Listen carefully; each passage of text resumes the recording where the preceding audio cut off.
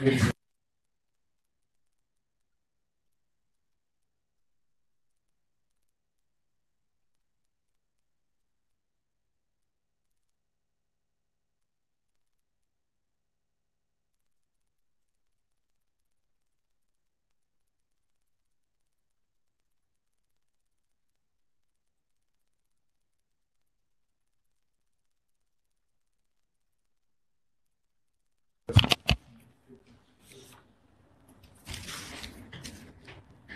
It's a great pleasure to welcome Shri Santosh Kumar Sarangi ji,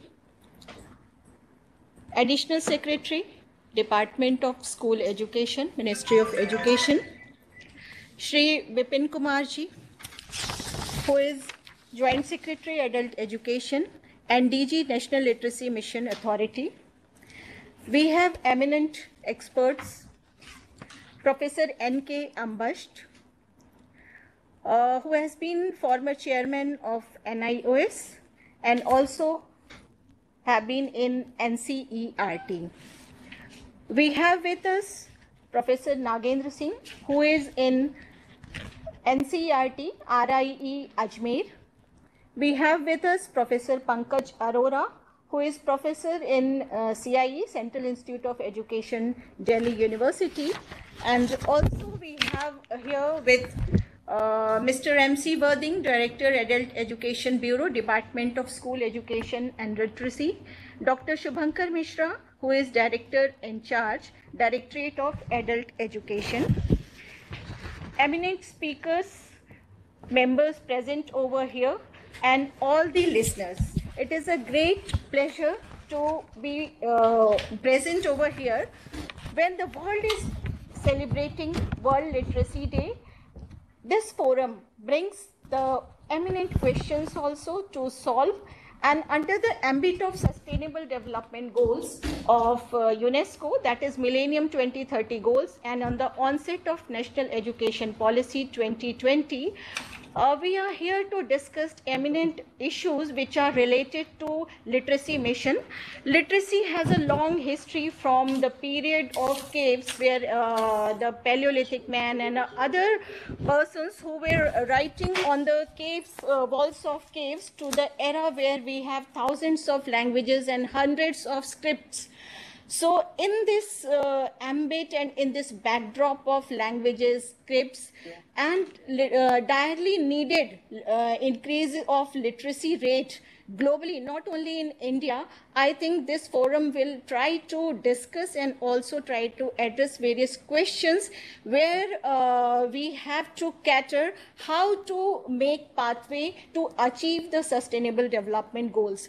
Last one year uh, was a learning experience for all the teachers and also people of academia where we used to discover various ways to be digitally acquainted digitally literate and also the learner and the uh, academia people of academia were trying to sort out the issues. Various psychological issues were also arose and various initiatives have been taken also from the apex body and also ministry of education where the digital divide was we tried to bridge the gap and also bridge the digital divide. So uh, today we are here to discuss various things. Uh, I would like to invite chair uh, of this session, uh, Mr. Santosh Kumar Sarangi, who is also chairman National, uh, uh, National Council for Teacher Education and also additional secretary. I welcome you, sir, to discuss about this seminar objectives and why we are we have assembled here.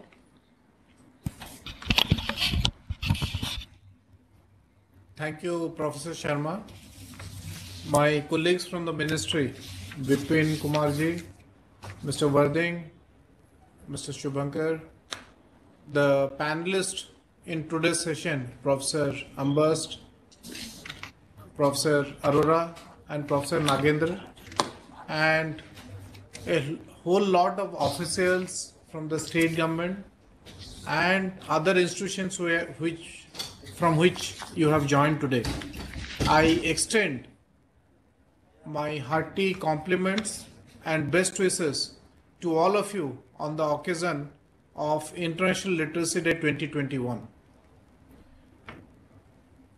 This celebration of the International, International Literacy Day has been going on under the aegis of National Literacy Mission from 1988 onwards. And this is a celebration which is not merely celebrating the attainment of literacy by a person, but is celebrating the empowerment of individuals. Because literacy and empowerment are two very closely connected uh, issues, and literacy paves the way for empowerment. If we look at UN Sustainable Development Goals, then it talks of literacy not merely as roots for ensuring equity and equality, but also for ensuring lifelong learning. So one can always question that once we have become literate, we have completed our BA, we have completed our post graduation, what is the need for lifelong learning? One must keep it in mind that once someone stops learning, once someone star- stops to explore new ideas, new innovations, then we tend to get fossilized. We tend to stagnate. And that amounts to disempowering ourselves.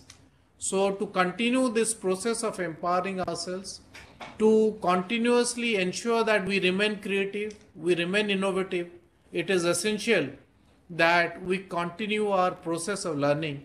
There should never be a full stop to learning. It is unfortunate that we have still crores of people who are still illiterate or who have not been exposed to the ideas of literacy.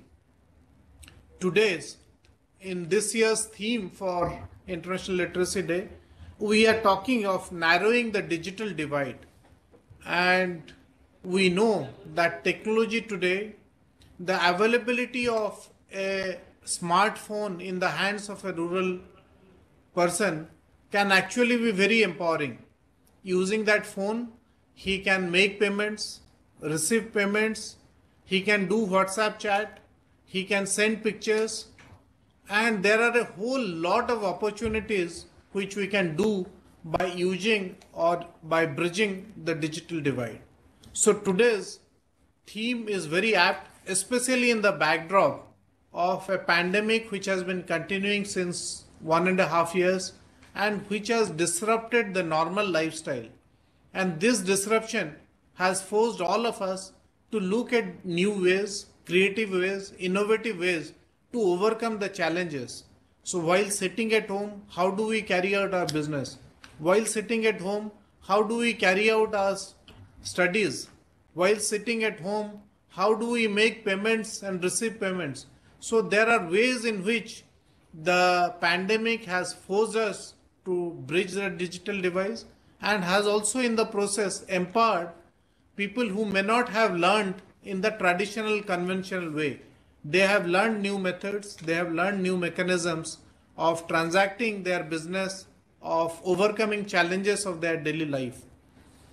We have seen that no country has really been developed without being literate within our country, we have seen the example of states like Kerala, Himachal Pradesh, which have shown significant improvement in indicators, human development indicators, and they have achieved this by ensuring that 95% and above population of their state are literate.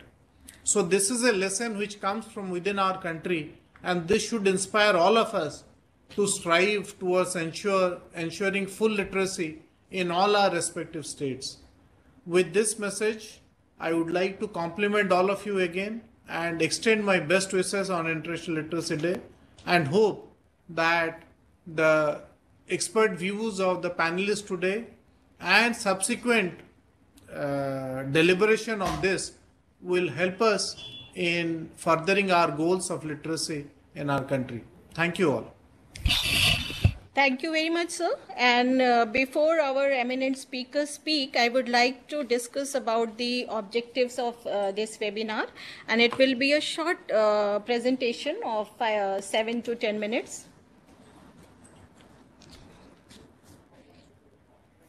Yeah, topic of the uh, today's webinar is uh, digital literacy for youth and adults.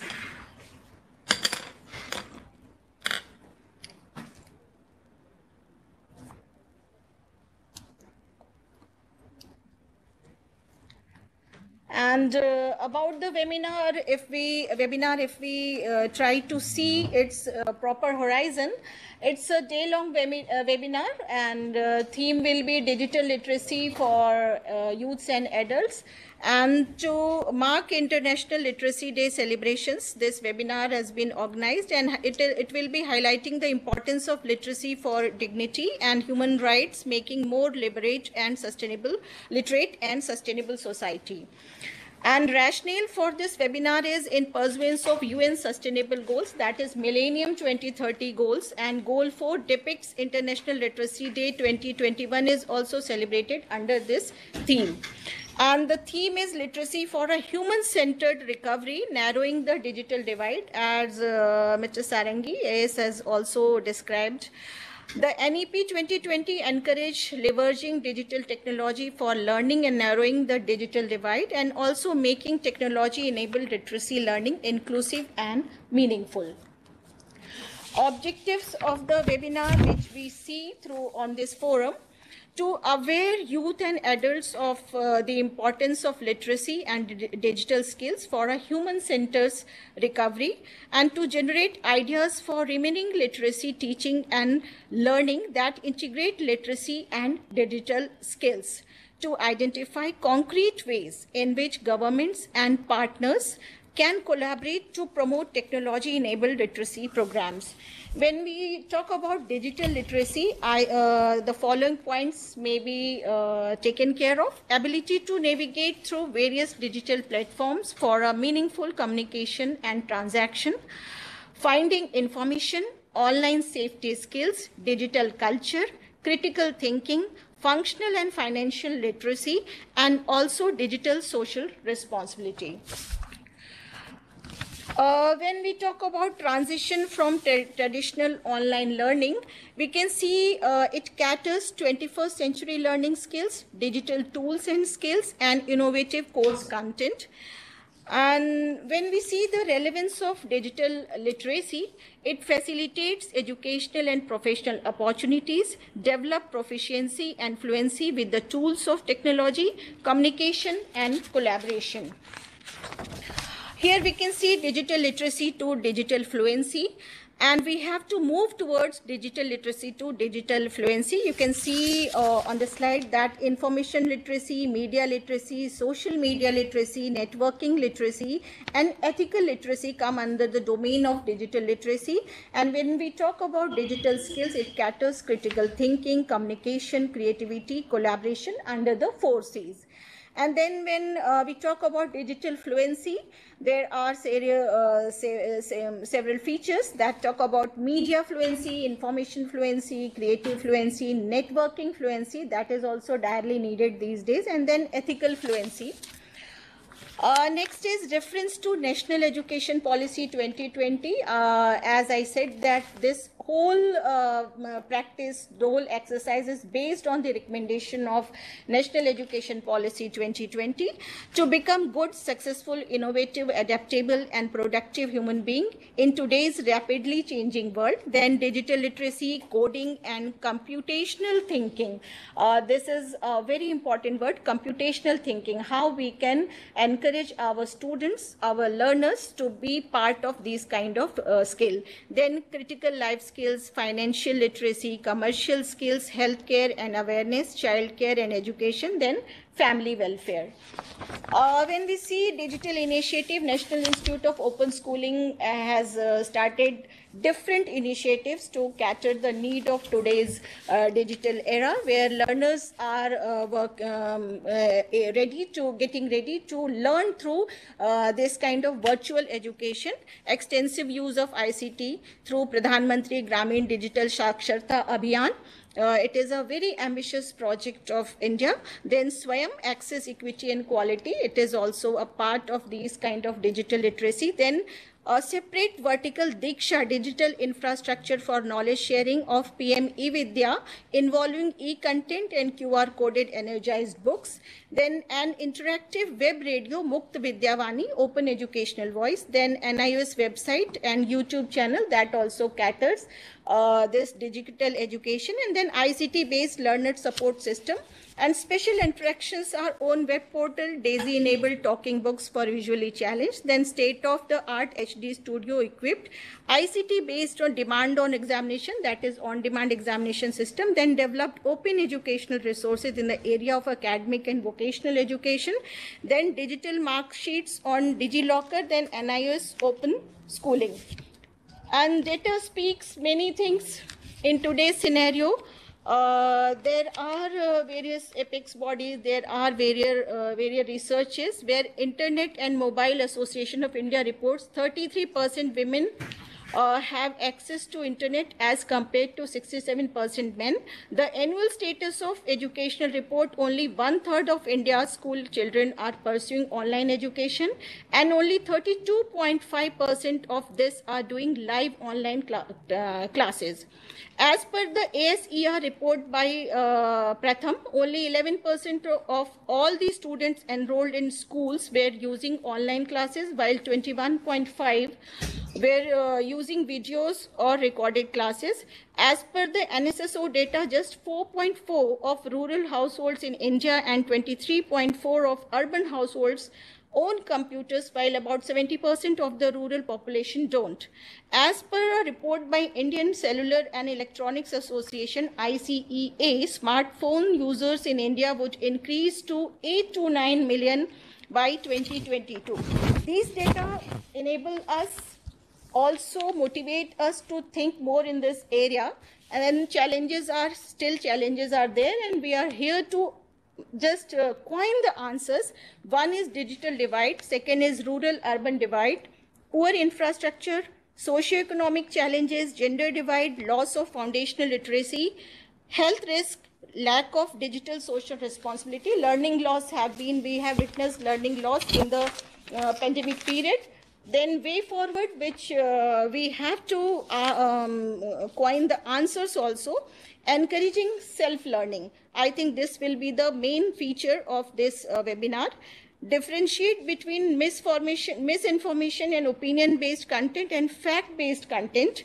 Then learner generated e-learning content, community participation for narrowing the digital divide, disseminating awareness-based course content, and nurturing netiquette. Netiquette also is a very uh, important word these days, how we have to inculcate etiquettes in our learner net-based cybersecurity, many other things are there. So it was just a crisp uh, presentation on today's objective.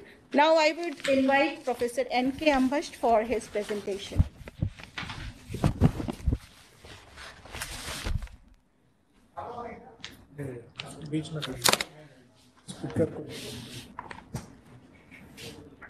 Right वाले को Right. Thank you very much. Uh, I am beholden to you for such a nice overview of what we are fa- facing today. Uh, I would uh, like to dwell how we have uh, moved from uh, what from independence till today. The basic function of adult education was improving functionality in the changing times. If you recall, when India, India got free, even before that, in 1935, adult education program started in a concerted manner with, with a view to making people literate so that they could uh, handle the the demands of a free India.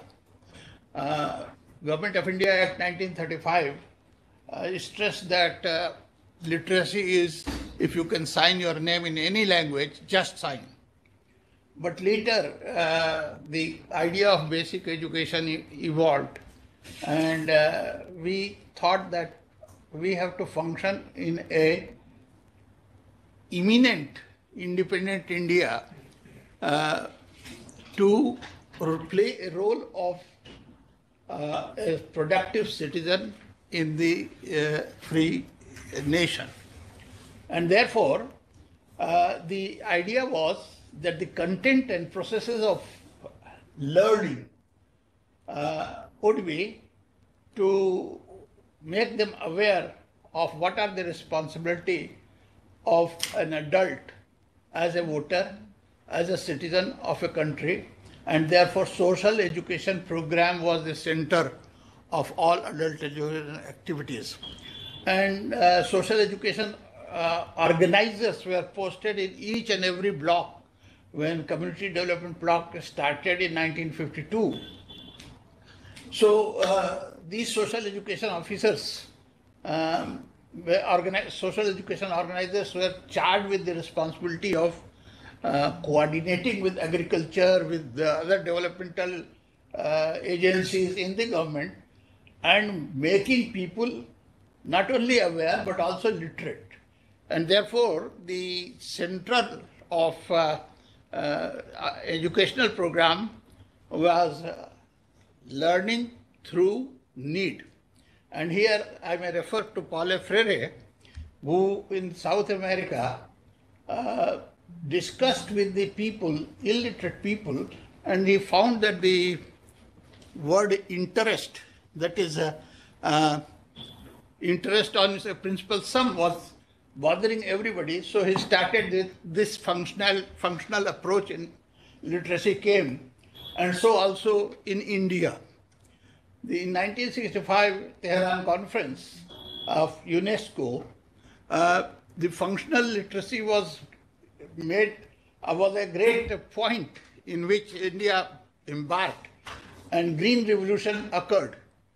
So the uh, the IARI, other uh, agricultural universities, etc., were basically charged with producing materials to improve uh, agriculture. But the Directorate of Adult Education at that time, or the uh, was charged with the responsibility of converting those information into readable, simple sentences and therefore Kisan Saksharta Yojana, functional literacy, uh, Krishi Darshan program through, at that time television was a new uh, entrant in, in Indian scenario and therefore half an hour program of Krishi Darshan was also introduced in which the uh, improvement of agriculture. You know, no, during mid 60s we were in great food crisis everyone, uh, every Indian went one, one, missed one meal in a week. I am also part of that. So uh, we start, tried to conserve our uh, grains and materials. And during Lal Bahadur Shastri's regime, we refused to have PL 480 program. We will not have that uh, wheat, reject wheat from USA. And uh, we, uh, uh, um, we, therefore, the uh, what I am trying to say that the entire adult education program was geared towards social development, economic development of the people, and therefore functionality was doubly, uh, linked with uh, uh, with e- economic development and farmers literacy program. So the content was decided by the need of the society, social need at that time. Now let me uh, let me take you a little bit uh, backwards. That the question was at that time there was uh, this uh, oral uh, language that you I speak and you listen and you decode and in, encode and decode. This was not possible on such a long, uh, large scale. So uh, the script had to be the carrier of communication. The scripts were various in India. Devanagari script, Kannada script, Telugu script, Assamese script, Bengali script, English script, and uh, each each script was associated with a set of language. So the sound that the script produced communicated a certain meaning to tho- those people who were conversant with that kind of sound system. A person speaking Odia was not understood in Gujarat because the, the, the, it was a mismatch. So, uh, literacy, again, the literacy and the script, that is the forming the, uh, uh, the figure, was in relation to the context in which we are talking. So I, uh, if I am very conversant, say Hindi, English, but when I go to Japan, I am not. I'm just as illiterate as anybody else could be. So uh, now, uh, you see uh, the how what kind of scripts uh, uh, prevail today. There are four kinds of uh, languages Dravidian, Proto Australoid, Austroasiatic, and uh, Aryan. Now, these are the groups of languages which have emanated from African uh, when he, human uh, Neanderthal man came and he migrated different areas, different kind of sound systems were produced, and they were standardized.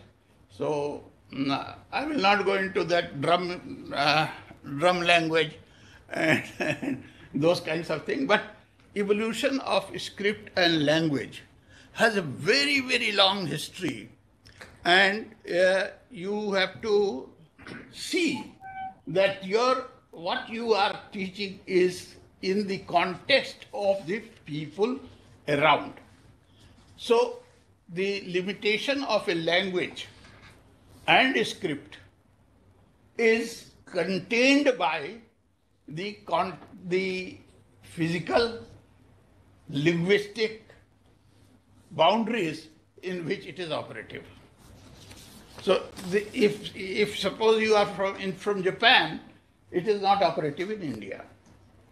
Then there are scripts which are, uh, uh, two types of scripts are there. One is hieroglyphic script, where it is pictorial. Mr. Sarangi referred to um, uh, scripts uh, like Bhimbetka, uh, wall, wall paintings, etc. They were also communicating the pictures were communicating. Those kinds of script later developed into Chinese, Japanese. These are hieroglyphic uh, languages. They are called hieroglyphic languages. So those scripts are different. But ours is on phonetic based, phonemes. So we create sound, and the uh, combination of sounds produces a, a, a, a kind of meaning which the listener is able to decipher. So, listening, speaking, and listening are two components of any language. Now, this uh, uh, the the advent of digital device has come in a uh, like a boon because it transcends the language barrier of on geographical boundaries. Now, you are an Englishman, you, you can, through your digital device, you can work and do in Japan, in China, in anywhere. The basic, basic idea, the, when it was, uh, the language, the, the digital language is based on binary system 01010101. It's not on a decimal system. So, uh, the universality of uh, digital language is its added advantage. But at this time, Next year. Thank you. Next, we, the, the challenge today is that we are in a cusp. We are in a, at a time when it, there is a cusp. The cusp is on two types. One is expanding and discovering new methods of reaching the masses. The uh, you see uh, the challenge before us is to make this uh, instrumental kind of thing, this instrument of which you call a, a, a mobile or a, or a laptop or whatever it is, to make it available to everyone. It is different from the voice which I was endowed by nature. Which I was endowed by nature, so I could make guttural sound or uh, different kinds of sounds which would make some sense. So here the problem is not of the sound which is naturally endowed by me, but I have to acquire that skill. So this is a, uh, the the expanding sources. The advantage is that there is expanding sources of knowledge. That knowledge is no more limited to the school teacher or to the textbook. It can be acquired from anywhere.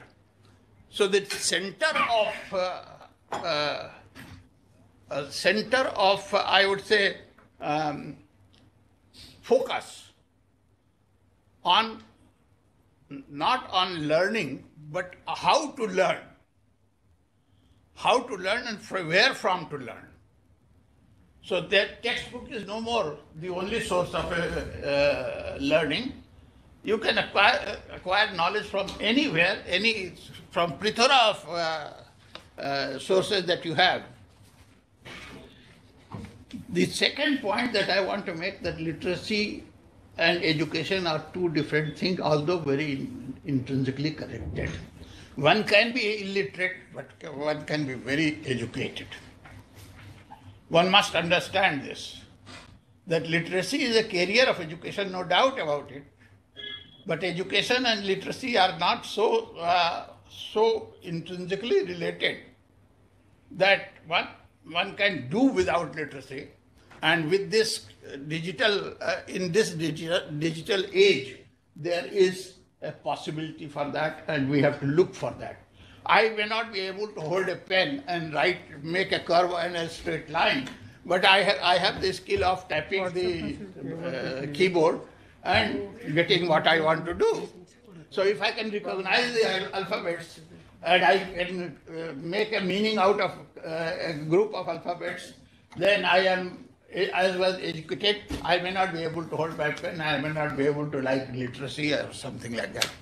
So literacy is a tool for education, no doubt about it. But just a minute.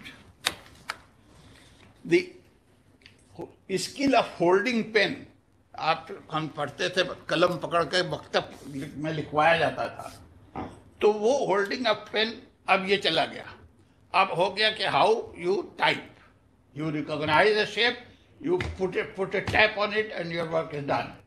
So deciphering is there, cognition will remain, but the movement in forming lines and curves is replaced by tip, uh, tapping the keyboard.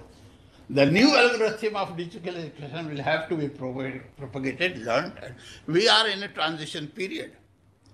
And this new demand on, uh, uh, on the teacher is a perplexing kind of thing. He will have to adjust to this kind of. Uh, earlier, uh, I, was saying, Mr. Uh, uh, what's your good name, sir? Uh, Mr. Worthing had a beautiful handwriting, but his handwriting may not be relevant uh, in this digital era because everybody is typing. So if my I have a bad handwriting, just to finish, just just just finishing one second. So handwriting is no more important. Then I will I'll skip to the road ahead. Okay. The digital literacy is on mission mode, linking and or integrating with common service centers. Now, why I'm I have skipped one uh, um, slide. This morning in Daily Telegraph, they quoted me in context of yesterday's lecture of the Prime Minister, in which he, he showed confidence of bridging the gap of people who do not have access to mobile or this and and some papers newspapers today came up like hindustan time came uh, came up with a, a very bleak picture of the ground situation in their editorials uh, referring to mr Drèze's uh, uh, report. But the sample that mr Drèze's report says is very, very small 1400 uh, respondent for this such a big country like India with has millions and billions of people. So this kind of thing is will not do. But I'm uh, what I'm saying is simple that uh, we have challenge of uh, bridging the cusp areas. The, the one last point that I want to make: can we can we make use of common service centers? Can we make use of common service centers. Until such time that we are able to provide the digital gadgets to the to all people. And number two that can we uh, develop some cheaper modes of uh, this smartphones and these kinds of things so that it is accessible to everyone. Thank you very much Thank you very much, sir. And you very well depicted about the journey from uh, scripts, languages, and then the modern era where we are discussing about gadgets and also digital divide. Now, I would like to invite Professor N. Singh, who is Dean Research, Regional Institute of Education, Ajmer, and also Convener Board of Studies, Maharshi Dayanand Saraswati University, Ajmer. I welcome you, uh, Professor Singh.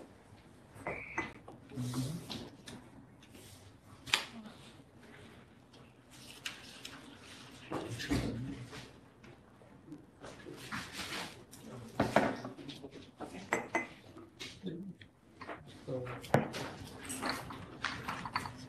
I think it's- it's.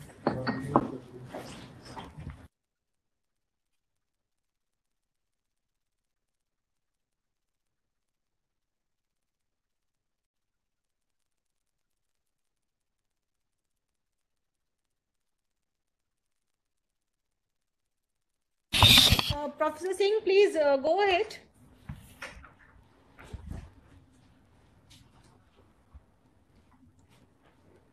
Can you hear us?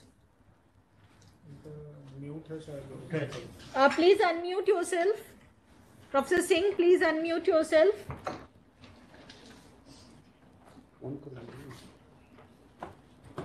We'll go to Professor Pankaj Arora. We'll come back to him.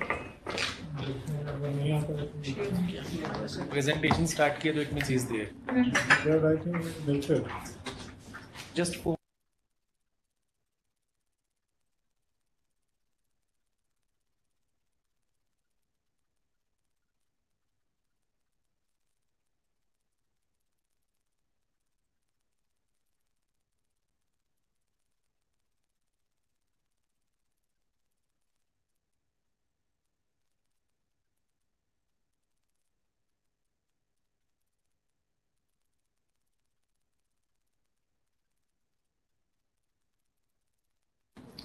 आप अपने आप को unmute कर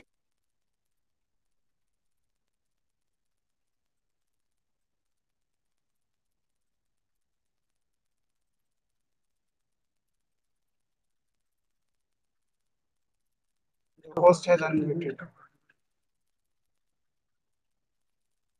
जी thank you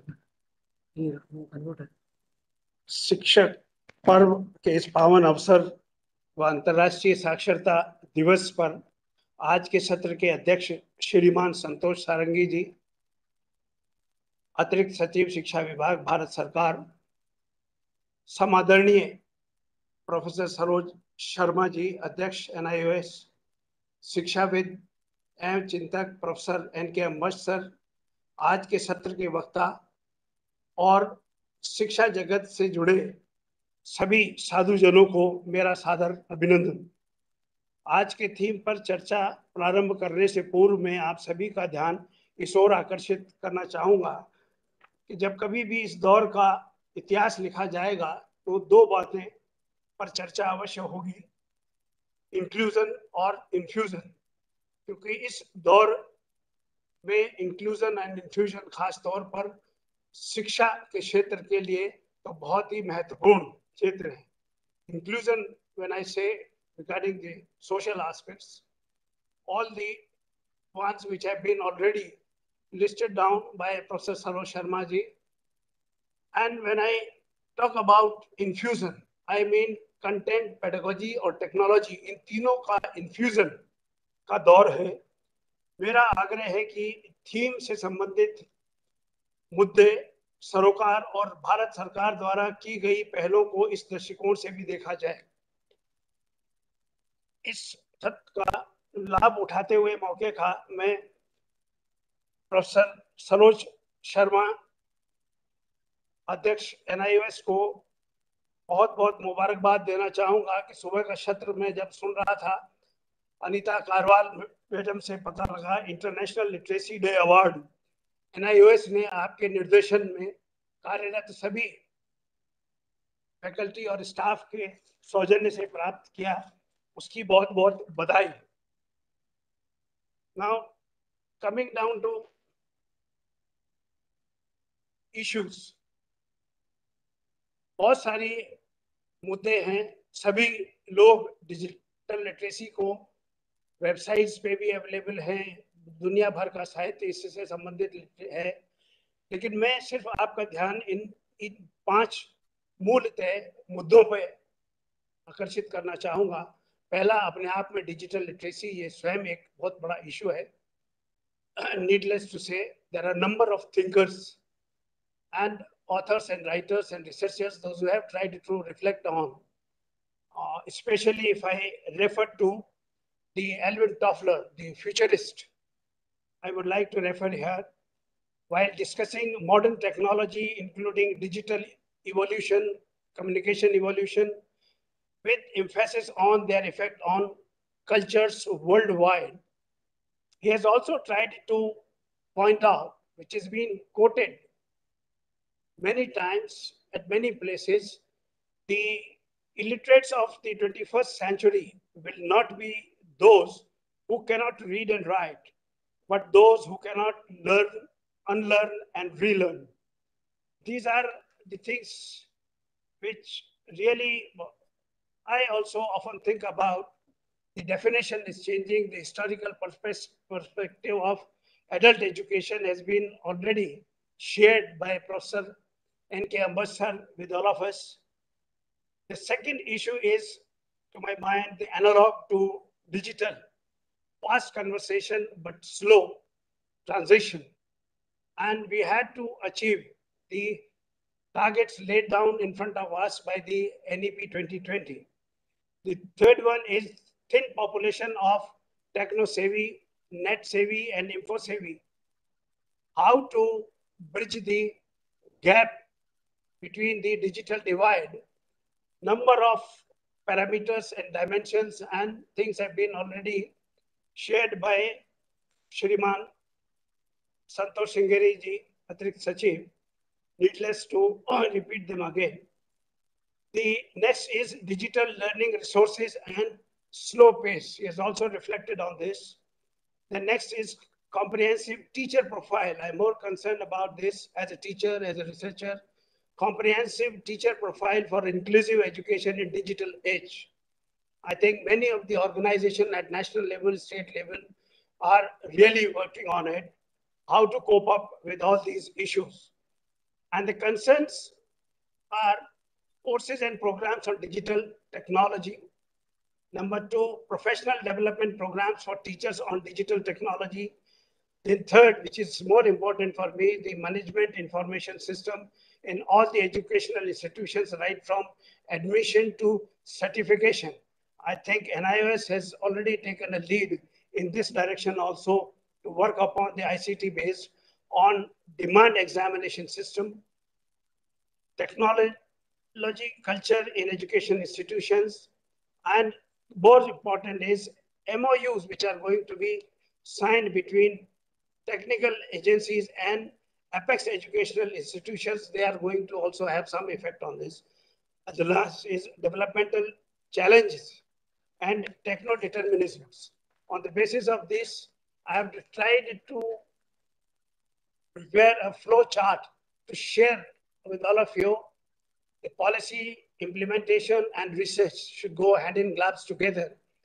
And at the ministerial level, the CABE, under the able guidance of the Secretary MOU, all these national institutions like ours, NCERT, NIEPA, CIL, CIFL, NIOS, etc., will definitely take care of these things at national level, then state level, the SCERTs and Department of Education and SIs, district level, the district resource units at the DIETs, and block level, the BRCs and CRCs and village level education committees and school management committees. This flow chart, I just want to share with you, the at one time, the ministry asked me, what are the consultation mechanisms between the institutions and within the institutions. Now, I think this area is also to be explored and researched on uh, taking into account the digital literacy program. How the consultation mechanism are being urged. Now, initiatives for narrowing the digital divide to achieve 21st century skills. I would like to draw your attention number of times which has been pointed out and raised by our Prime Minister, skill, scale, and speed. These three S we had to definitely keep in mind when we are trying to infuse the content, pedagogy, and technology. At the same time, the strong and innovative government initiatives have already been uh, taken up. With these five E's, which were also pointed out at one time, the enrollment, equity and inclusion, excellence, employability, and entrepreneurship. Now, on the basis of this, all we can go for the outstanding curriculum framework for adult education, which can be developed for digital literacy and numeracy, basic education, vocational skills, and beyond. By these four approaches, I think Professor Ambasht will recall, well, this is on the basis of my experience and learning I'm sharing with you, we, at the time of 80s, when we were trying to lay our hands on the alternative systems, we came out with these approaches, four approaches mainly on the basis of research. Number one, the curriculum should be based on formal curriculum, outstanding learning outcomes should be developed. Number two, condensed version. Number three, integrated curriculum. Number four, partially integrated curriculum. This will include five types of programs with clearly defined learning outcomes for fundamental digital literacy and numeracy, critical life skills, vocational skill development, and continuing education. The details of these have already been uh, shared by us Sarangi Saab. These issues and concerns to be attained through recognizing the paradigm shift. Because we are experiencing in the field of education and teacher education specifically, there is a paradigm shift from teaching to learning.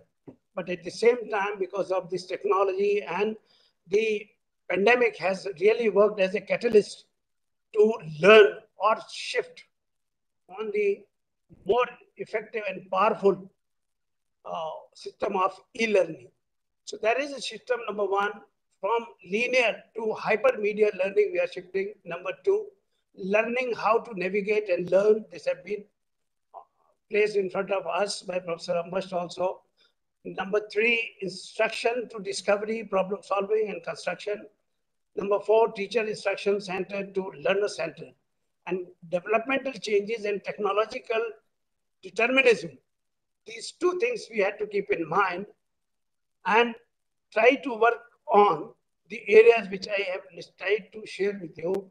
Number one, we had to develop the media culture instead of crowd culture, and learning for equitable education for all, bridging the gap between public and private dichotomy, and this can be only achieved through partnership.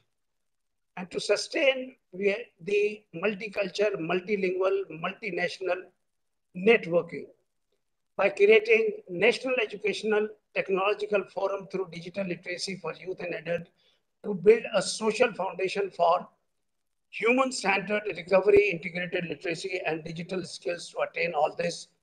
Then I'll refer to these five C we had to say regarding the infusion, the contact, connect, collaborate, coordinate, and cooperate by ensuring inclusive and equitable quality education to promote lifelong learning. And stellar initiatives have already been taken and institutions are working for the brilliant programs of Government of India, say for example, प्रधानमंत्री ग्रामीण digital साक्षरता अभियान एक missionary spirit में इस अभियान को लिया गया। एन ने वर्चुअल ओपन स्कूलिंग को किया। देन आज इंडियन साइन लैंग्वेज जिसकी चर्चा मैडम ने की उसकी डिक्शनरी भी लॉन्च की गई।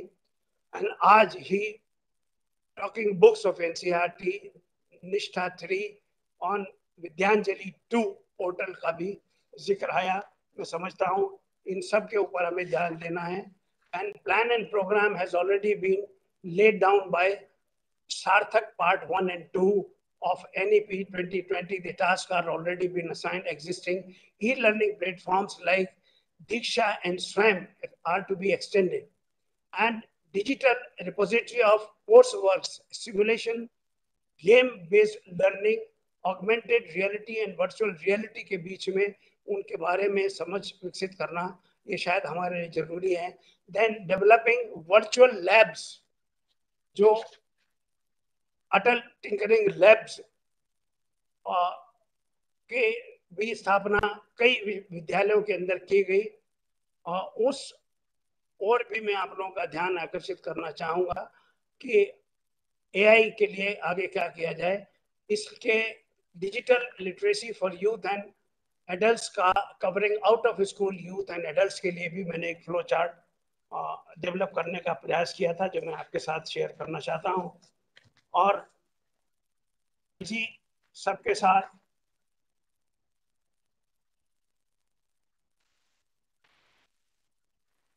मैं एक बार फिर आप सभी का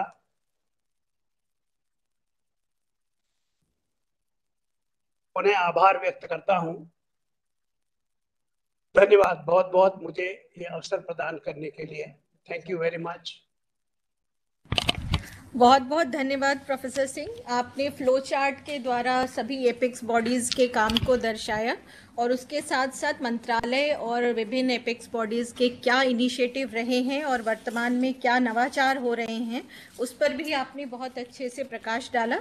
आपका बहुत बहुत आभार और साइन लैंग्वेज की महत्ता को आपने जिस तरीके से किया और लिटरेसी में वो भी एक महत्वपूर्ण भूमिका अदा कर रहा है और निश्चित रूप से हम इस दिशा में आगे बढ़ेंगे now I would like to invite professor Pankaj Arora he is professor in central institute of education Delhi university and also he is looking after I L ILLL Institute of Lifelong Learning in Delhi University. He is director over there. Welcome, Professor Arora. Thank you. Celebration of International Literacy Day and under this celebration Shikshak Parv. This is celebration of it's a festival of teachers and teaching and such initiatives can be expected only at this time when teachers are actually given their due regard and respect in the society. Friends, today is the day for International Literacy Day, and my previous speakers, Professor Ambasht and Professor Singh, has already set the tone for discussions. I am grateful to Professor Sarangi ji, Shri Vipin Kumar ji, Saroj Sharma ji for giving me this opportunity where I shall be discussing my ideas on digital literacy for youth and adults. Professor Saroj Sharma, in her opening remarks, suggested the period of initial civilization when we were writing on walls through paintings also, and Professor Ambasht has suggested through music also we are communicating to the people. Now it is the period of IT revolution, 21st century IT skills, which is demanding artificial intelligence competencies as well as robotic science. We are talking of coding for programs. Remember, we are started with era of initial civilization when writing on caves, what Professor Saroj Sharma has mentioned, and now we are in the era when we are doing lot of coding, and coding is becoming a crazy uh, phenomena in market because lot of software engineers are into it and earning their livelihood through it. So this whole concept is now motivating us to think of now bringing digital literacy to the masses. Now it is the high time, especially with this pandemic era and epidemic uh, scenario across the country, across the world, we are into the mode when we should be promoting digital literacy among masses. First, I would like to suggest what do we understand, what is the literal meaning of digital literacy? This is an ability to find, to evaluate, utilize, to share, and to create content using information technology. This is a definition by Digital Literacy. Education. Now, digital literacy is also an ability to interpret and design nuanced communication across fluid digital forums. This refers to the evolving digital and social media applications, which include search engines, which we all are using. The Google Baba is very popular across academia as well as social forums. Lot of blogs, interactive blogs, which we all are using to make our academic institutions vibrant and all time available to the people. Facebook, social media are other things to add to the list.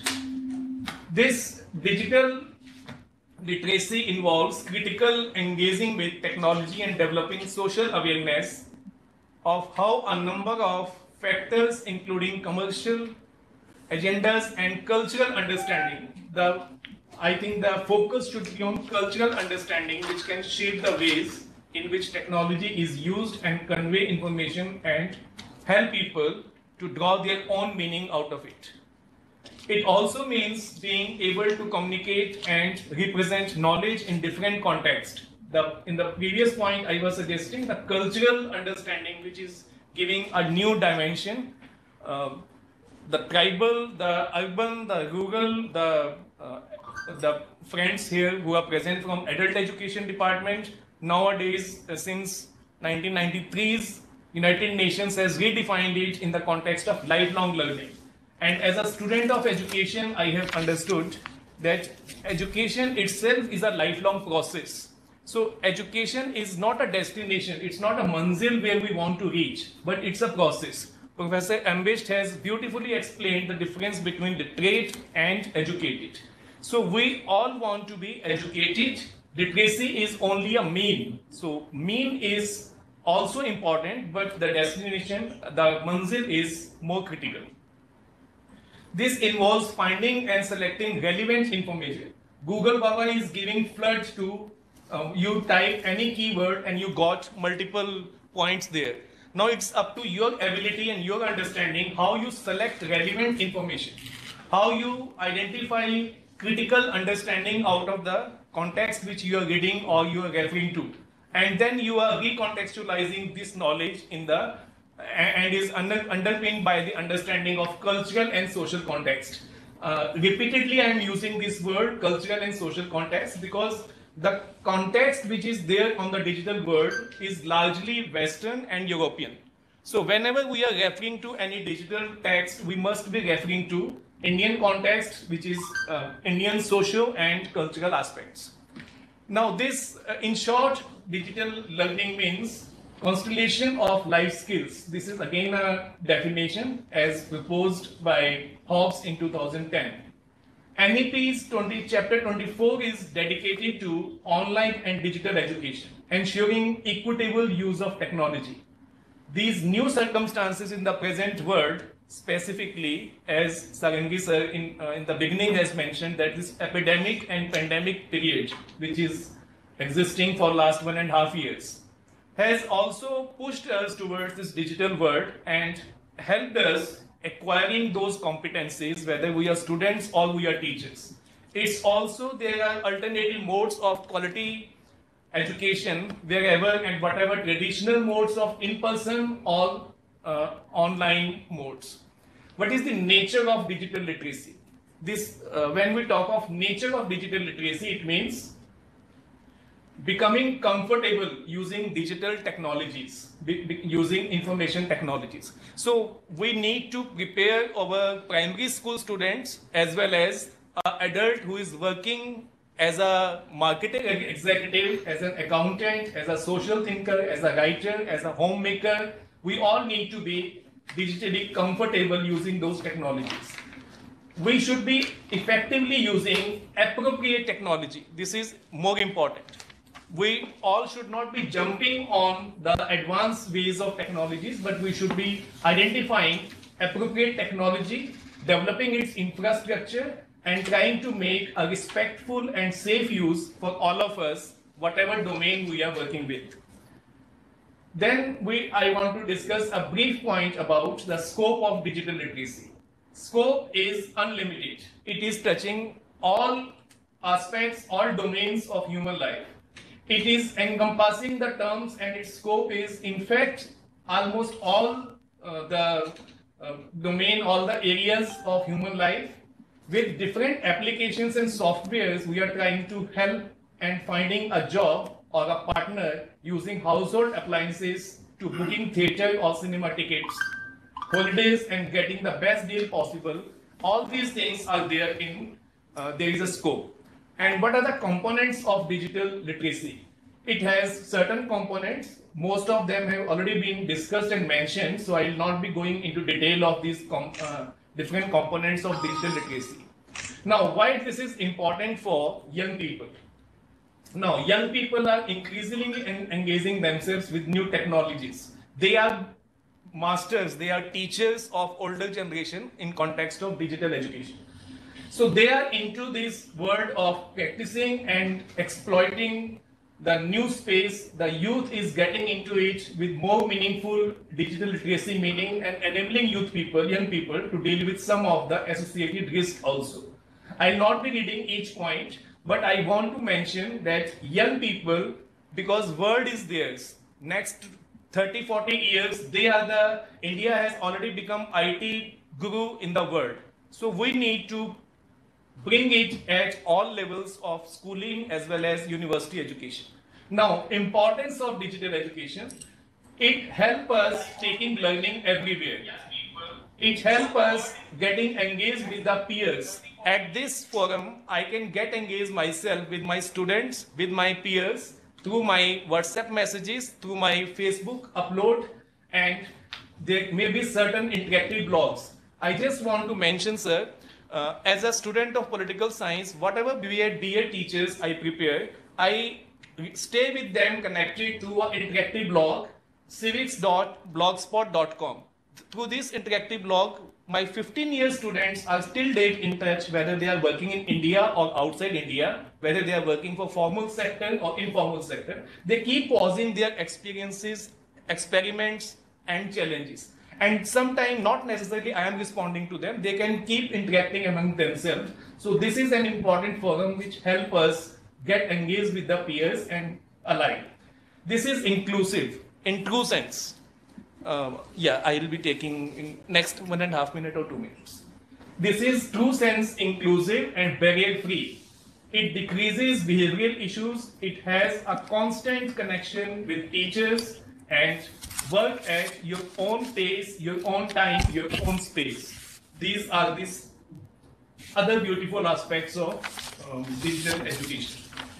Uh, I'll skip this slide because it is talking of why we should be more careful about digital literacy in 21st century. But I surely would like you to go through a quick glance what University of Delhi, where I am teaching for last 24 years, is doing in context of promoting digital education among masses.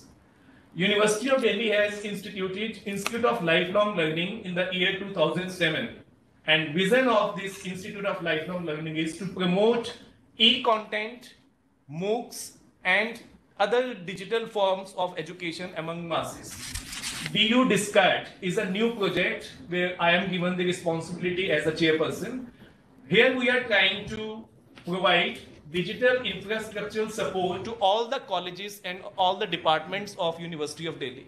So I think DU is first in it of its kind, which is trying to develop, which is trying to make independent all departments and colleges in context of digital infrastructure.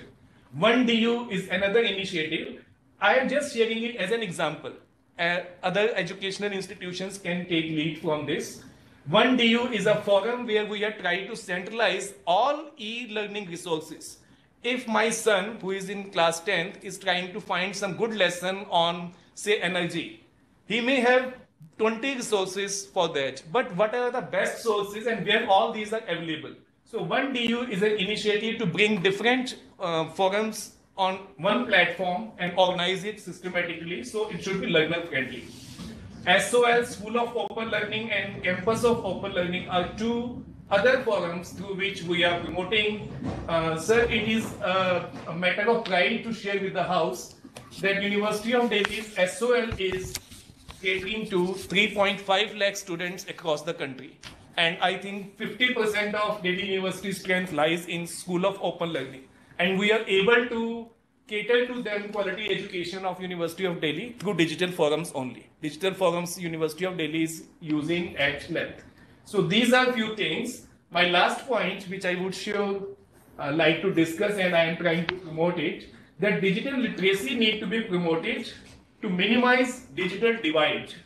And we must be working towards making right to technology as an integral part of right to education if we want to promote digital education and if we want to uh, increase GER, gross enrollment ratio from 26% to 50% in next 15 years. So digital world is the solution and right to technology should be associated with right to education. Thank you very much.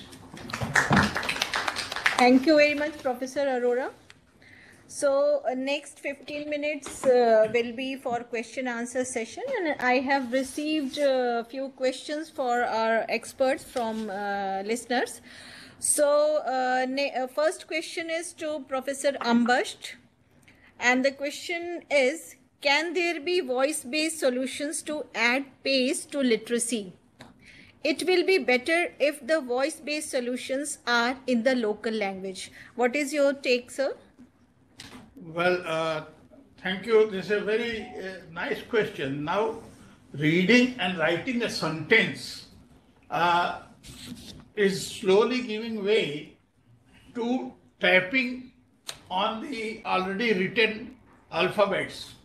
So, the day is not far off when you speak and that is conveyed through telephone, through other media, and the listener understands. So you are obviating the skill of writing. Imagine that by 20, 2100, would you be moving your hands and uh, using the pen or tapping this? The kind, the kind of uh, leap that we are taking in technological development would be that uh, whatever you speak is stored in ether. Cloud computing is already there. So the day is not far off. So voice based is yes, certainly it is a it is a kind of alternative, but it is a futuristic vision. You can see that the uh, is uh, is stored in the ethereal, uh, I would say, atmosphere, much above the atmosphere. So how are we going to retract it, even in the posterior generation? What has been said 200 years ago can be seen, but that is a prospect. I, I, I don't know. I have no answer for that at this moment. But yes, communication, as far as the adult education component is concerned, you communicate to the person and he understands. The basic, the only idea of language is to, that you articulate, you make some sound, and somebody listens to that sound and he deciphers it in his brain. There is a wave here, it goes here, and it, it the brain processes it and tries to find meaning, and then associate it. Yes. So this is the basic uh, uh, function of language. Now, where there was no voice situation, just just half a minute. You see, earlier we had those uh, when the societies migrated from uh, African continent, continental drift taken took place. Then they wanted to communicate from the people who had moved away, and then they had this drum drum kind of thing, relay relay message. I beat a drum, it is heard somewhere, it is again repeated and repeated, on which the basis the telegram Morse system came. Then came telegraph, telephone, then came radio, then the uh, satellite messages. So this is, uh, the- their possibility is immense. Thank you. And again, uh, next question is uh, to you. Uh, how the visually impaired and hard of hearing people of our society can be benefited by the digital literacy? Uh, well, uh, you have already, I Yes. must comment and I will, you have done uh, sign language as a, as a subject, you are de- developing it. There is, a- there are answers. And digital literacy, I mean, the, if you uh, have your keyboard on braille system, then you can have, a, you can type and it will be translated. So the talking books are also talking there. books are there. Yeah. And the next question is to Professor uh, N.K. Singh. Professor Singh, can you hear us? Dr. Nagen Singh, are you Yes, able to hear us? Yeah, this Yes, question is to you. Yeah, this question is to you. How can NETF ensure a mechanism of curriculum for students with learning disorders? Madam, when we are talking about the inclusive education as such, which is mm-hmm. part of achieving or attaining the quality in the entire education system, I specifically try to mention here during this pandemic period, it has been brought our notice by the international agencies also that 10 million children of so-called as developing countries or the countries where the wages are low out of schools. And there is a specifically mention about the uh, special children's or children's with require special attention and disabled. For them, definitely, I think we have got a number of programs which are already being taken care of by NCERT and NIOS, both.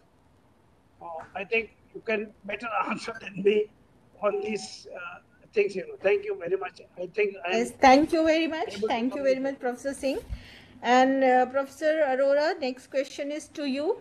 I think between you and us, what is the difference between 1DU and Diksha? Very interesting question. one day. Uh,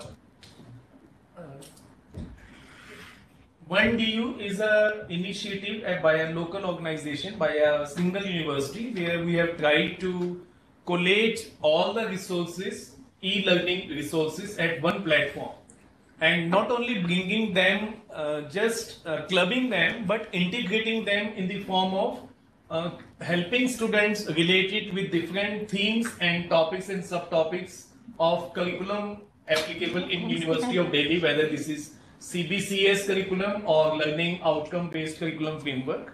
So that is there. And Diksha is a national platform where people are not only posting and preparing e-content, but also uh, LOCF based curriculum is common between the two, whether it's Diksha or whether it is 1DU. So my point was like if universities take initiative and um, and collate things from national resources to meet their local needs for their own students, so it would be a great help to young people who are not that educated on digital platforms and they have been pushed on it because of pandemic also and because of multiple factors which are working at the moment. So just to minimize digital divide, this initiative has been taken by University of Delhi. Thank you. Our next question to you uh, again. Can the DU DISCAD shown on slide 11 be extended to schools and institutions in the rural areas for the benefit of the unreached group of the society? Um, very well. I I don't take it as a question. And why this has not been extended till now? Yeah, I, I take it as a suggestion uh, because DU Discat is a, a local project again uh, initiative of University of Delhi to empower and to ed- um, uh, provide digital infrastructure to all the colleges and uh, this this you can take as an experiment which University of Delhi has taken up and gradually it can be expanded through, through school education boards and other universities to meet the i agree strongly with this question uh, whosoever is asking it that this uh, such initiatives need to be taken up by the school boards and universities working and catering to the remote area remote parts of the country so that is very very important that is why my last slide was talking of uh, right to technology should become part and parcel of right to education. So when we are uh, talking of uh, increasing GER and higher education, then we need to think of right to technology as integral part of right to education. Thank you. Today we have a very uh, key person uh, of this area, Shri Vipin Kumarji is with us and is looking after uh, literacy and adult education and giving very well shape to the uh, to this particular field. So I invite you for a vote of thank uh, vote of thanks, please. Thank you, thank you, Professor Saroj Sharma. Uh, first of all, I would like to uh, thank uh, Sarangi sir uh, because uh, he took uh, time out of his busy, busy schedule and then uh, agreed to chair the session uh, on this International Literacy Day. In fact, we have been working together for last more than one month on the Shikshak Parv celebration also, which will continue till 17th of September. Sir, you also mentioned in your opening remarks uh, regarding the importance of digital initiatives, especially during, during pandemic. And uh, rightly you said that literacy is the emp- uh, empowerment of individuals. So I think, sir, uh, means uh, we will just look uh, and we'll try and we'll try our best actually in days to come that during pandemic how we can bridge this learning gap and we'll look into these aspects which you have suggested. Mm, Professor Saroj Sharma uh, means she is the person uh, behind helping Adu- adult education division in Ministry of Education uh, to develop online modules. Ma'am, uh, thanks for joining us today uh, and uh, for giving a nice presentation also. At the same time, I'd like to congratulate you for this UNESCO award this year and really you have worked very hard. Mm, you especially mentioned that uh, different digital initiatives which NIOS is uh, working upon actually and they are doing. Uh, I would like to thank Professor Ambasht also who is uh, uh, retired chairperson NIOS and he in fact shared his thought about how the adult education program evolved from uh, before 9 means uh, our freedom ti- independence days also and what is the relation of script and uh, with the literacy uh, the difference between literate and educated uh, needs to be um, understood. Uh, I'd like to thank Professor Nagendra Singh, um, who joined us online from Ajmer, um, from NCERT. And what are the issues and the concern with the digital literacy?